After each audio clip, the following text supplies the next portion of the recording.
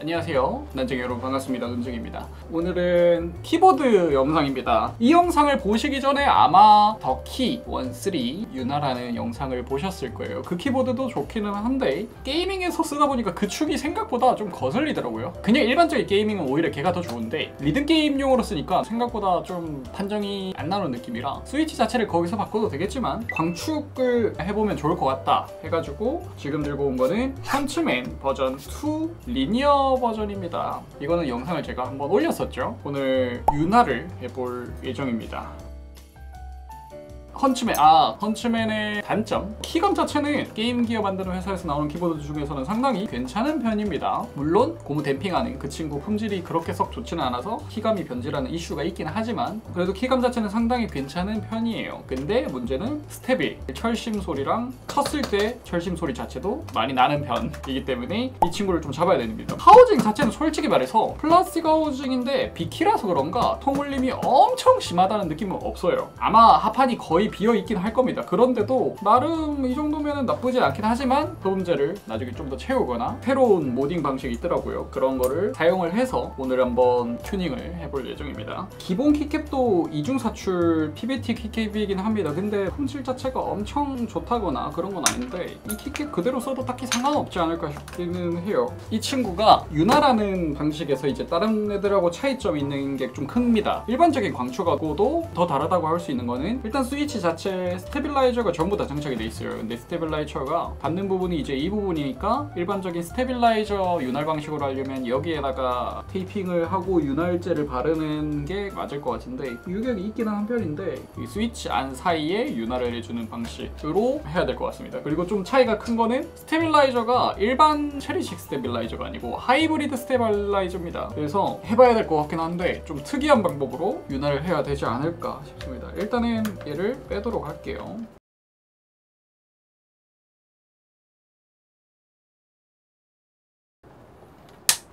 또 부러지는 소리가 나는데? 아, 이거 왜 이렇게 안 빠지냐 이 포트 있는데?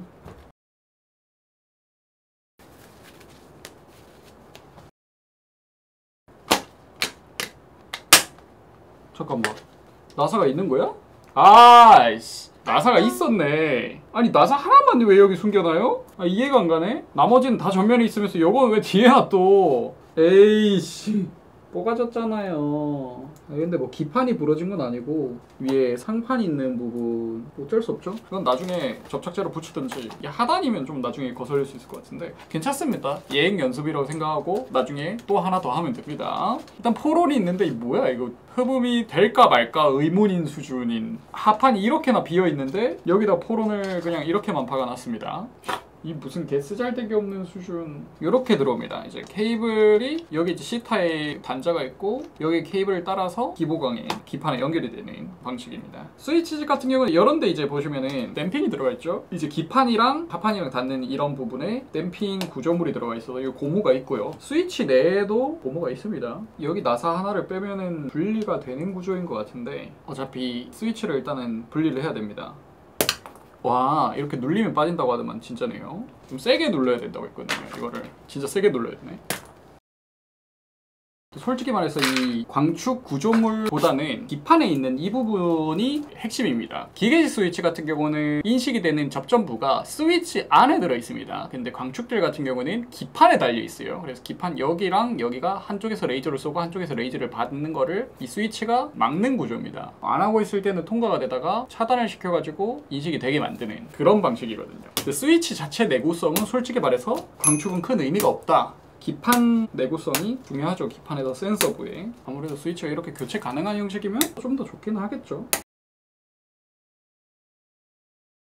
스위치를 전부 다 뺐고요. 스테빌을 빼야 되죠. 그 보강식 스테빌처럼 고정 구조물이 있습니다. 빼는 것 자체는 어렵지 않네요. 상당히 구조 자체는 심플합니다. 이런 구조로 되어 있습니다. 이게 윤활 하는 사람마다 다르던데 제대로 하려면 스테빌을 다 빼고 하는 게 맞겠죠 제거를 해서 싹 다 분리를 시키고 근데 기본 키감 자체가 괜찮아서 굳이 스테빌 분리해서 하우징한 상판 하판부를 따로 윤활을 해줄 필요가 있을까 모르겠네요 와 이게 스테빌을 분리를 해도 얘는 분리가 되는 구조가 아니네요 안에 스프링이 들어가 있고 하우징 자체가 밖으로 튀어나오는 구조가 아닙니다. 나는 이거 스테빌이 고정 구조물 역할을 한다고 생각했는데 아니네요. 굳이 스테빌을 만들 이유가 있었나 싶네. 이 정도 유격의 이런 구조면. 아 스프링 소리는 나긴 나네. 솔직히 말해서 이 정도면 굳이 이거를 분해해서 할 만큼의 노력이 들어갈까라는 느낌도 들긴 하네요. 이거 포기하겠습니다. 이거 굳이 얘를 윤활을 할 필요도 없을 것 같아요. 네, 이게 노력에 비해서 효율이 떨어지는 일을 원래 안 하는 게 맞습니다. 여기 있죠, 여기 여기 부분을 퍼마텍스로 윤활해주는 정도? 퍼마텍스까지 필요 있을까 싶네. 하나는 퍼마텍스로 해놓고 나머지는 크라이톡스로 한번 해보도록 할게요. 그냥 퍼마텍스만 발라도 괜찮은데? 빡세게 스위치 분해해가지고 각자 윤활을 할 필요성까지는 못 느끼겠어요. 어차피 얘는 gaming으로 써야 돼서 키감이 크게 바뀌면 안 되거든요. 안에 근데 윤활을 해버리면은 아무리 잘한다고 해도 키감이 바뀔 수밖에 없기 때문에 퍼마텍스 여기에만 바르는 거면은 스위치 분해 안 해도 할 수 있는 건데 이거 스위치 다 꽂고 해도 되거든요. 스위치는 건들지 않겠습니다. 이거 스테빌만 합시다. 구조를 한번 보겠습니다. 코팅이 돼 있는 절심이네요. 어, 이 정도면은 나쁘지 않은데? 반대로 했을 땐 괜찮은데? 그것만 갈아주겠습니다 철심. 그 부분이 좀 날카롭거든요. 가는 건 갈았고. 괜찮습니다. 철심 수평 납배드 아 그러면 나 기판에서 스위치 왜 뺐냐? 아 이거 혹시 몰라서 확인한 거니까 여러분들은 나중에 기판에서 스위치를 빼지 말라는 그걸 위해서 한 거기 때문에. 스테빌만 잡으면 될 것 같습니다. 스위치는 그냥 붙인 채로 하시고 이거죠? 나중에 꼽으면. 이렇게 들어가는 거지. 얘가 하부 stem이 되는 거고 여기 상부 stem이 되는 거니까 상부 stem과 하부 stem이 닿는 부분인 좌우를 윤활을 해야 될 것 같죠? 보통 윤활하는 거야 그냥 모양만 다르지? 이 정도면 뭐 똑같다고 봐야죠. 퍼마텍스 바르면 안 됩니다. 205G2 보통 용두라고 하는 부분이 이제 여기는 여기 달려 있는 거잖아요 여기. 그래서 뺄라면 뺄 수 있을 것 같은데 굳이 안 빼고 작업해도 되니까 여기 안쪽 부분에 이제 Holee mod라는 걸 할 겁니다. 그러니까 테이핑 한다는 소리예요. 이렇게 한쪽을 이런 식으로 바르고 나머지 한쪽도 똑같이 할 겁니다. 결국에 이 테이핑을 하는 의미가 뭐냐? 철심하고 이 플라스틱 이 부분과의 유격을 줄이고 플라스틱하고 쇠가 닿았을 경우에는 쇠 소리가 더 크게 날 거 아닙니까? 조금 더 쿠션감이 있는 괜찮네요. 테이핑 괜찮은 것 같습니다. 결과적으로 이렇게 테이핑이 됐습니다. 이렇게 수평 한 번 더 체크하고 이게 이렇게 들어갈 건데 퍼마텍스 푹찍 좀만 흩어 주겠습니다. 옆에 이렇게 그리고 여기도 보면 필름 작이 돼 있습니다. 필름이 한번 유격 있는지 확인해 보면 없죠. 기판 고정형인 거니까. 스위치를 다시 연결해서 이렇게 꽂는 겁니다. 뻑뻑한 감이 있는 느낌인데 이건 지금 몇 번 치면은 될 것 같거든요. 테이핑 바른 게 하이브리드 스테빌 방식 자체가 스테빌을 집어 넣을 때 들어가는 게 저 테이프를 긁으면서 들어가서 지금 벌써 벗겨졌어요. 하이브리드 스테빌이 괜히 체리식을 쓰는 게 아니에요. 이 봐봐 테이핑 한 의미가 없구만. 직접 꽂아 보겠습니다 얘들아 어 근데 이것만 해도 괜찮은데? 라는 상태로 205를 발라줍니다. 이거 서거 끼는 거를 방지를 해야 되기 때문에 그러니까 이게 틱틱틱틱틱 하는 이걸 잡고 싶은데 이걸 못 잡는 거죠. 이걸 잡으려면 아까 그 테이핑을 하든지 해야 되는데 윤활유 가지고는 지금 택도 없으니까 어차피 하이브리드 친구는 이게 철심 수평을 잡아놔도 계속 틀어져요. 이게 뽑을 때마다 계속 힘이 엄청 세게 들어가기 때문에 그래서 제가 생각하는 거는 안쪽에다가 하면 좀 그래도 괜찮지 않을까? 밀고 들어갈 때 문제가 없는 건 옆면엔 지금 문제가 있는 건데 결국 틱틱거리는 게 안쪽은 괜찮을 것 같거든요. 안쪽에 테이핑을 해보자. 야, 이게 한번 이미 윤활유가 조져졌다 보니까 접착이 하나도 안 되네. 보통 이런 거가 이제 불로 지지면 되거든요.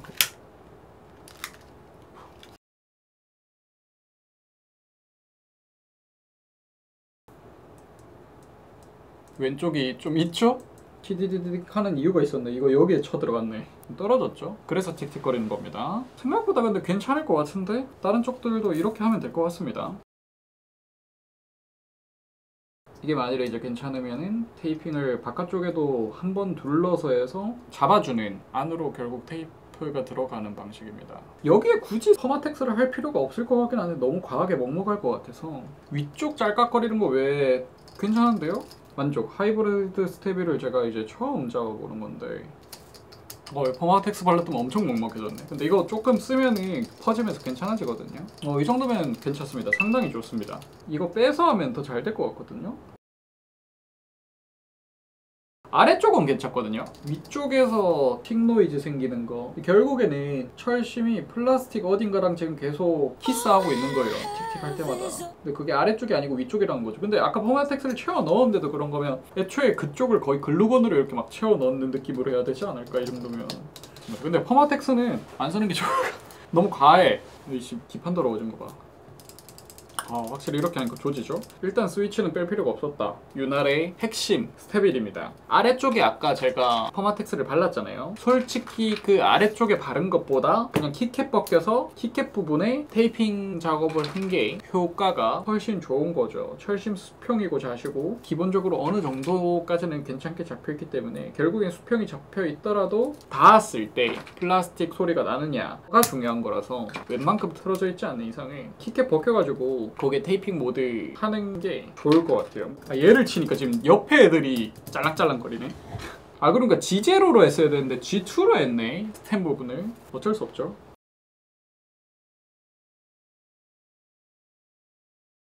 네, 다 했습니다. 저는 이제 테이프 보드를 생각을 했었거든요. 마스킹 테이프를 여기에다가 한 겹을 붙이면 걔가 이제 반사판 역할을 해가지고 얘의 소리가 넘어가는 게 아니고 이 자리에서 바로 소리가 저쪽으로 넘어가는 약간 그런 구조로 만들 수 있는 건데 소음을 줄여주는 모드가 아닙니다. 이거는 통 울리는 게 깔끔 딱딱한 느낌으로 변한다고 해야 되나? 그런 mod더라고요.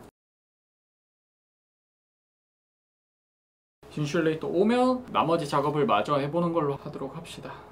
Several days later. 어 여러분 일단 왔습니다. 신슐레이터가 이렇게 도착을 했어요. 테이프 mod 자체는 스위치가 이렇게 좀 많이 튀어나와 있고 플라스틱 하우 하우징이랑 맞물리는 부분이 너무 많다 보니까 별론 것 같고 얘는 아예 떼고 신슐레이터로 흡음재를 바꾸도록 하겠습니다. 이게 신슐레이터 새로 산 거고요. 24T짜리입니다. 보통 사는 게 3T짜리인데 이걸 떼가지고 이렇게 솜처럼 뽑아가지고 쓸 거기 때문에 큰 상관없을 것 같습니다. 사이즈는 진짜 정말 큽니다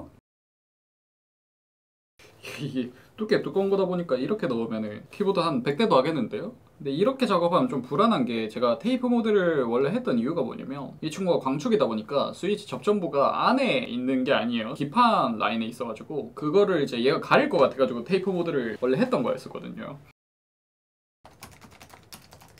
오 괜찮은 것 같은데? SD 윤활 조금만 더 하죠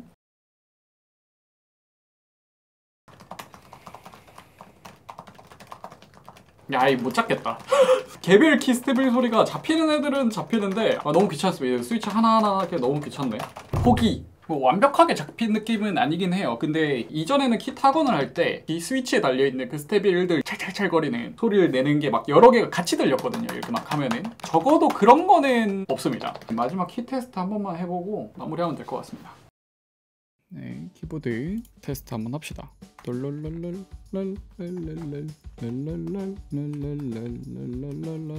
따라라라. 일단은 스위치 자체는 전부 다 작동을 합니다. 오작동을 하지 않아요. 사용하는데 전혀 문제가 없겠죠. 그래서 이렇게 키보드 윤활을 한번 해봤고요. 크게 문제 없이 사용하지 않을까 싶습니다. 기본일 때보다는 만족하지 않을까 싶은데 일단은 좀 키감 자체가 바뀌었을 거기 때문에 거기는 살짝 좀 적응을 해야 되지 않을까 싶고 네 그럼 오늘은 여기까지 논쟁이었고요. 전 다음 시간에 들어오도록 하겠습니다.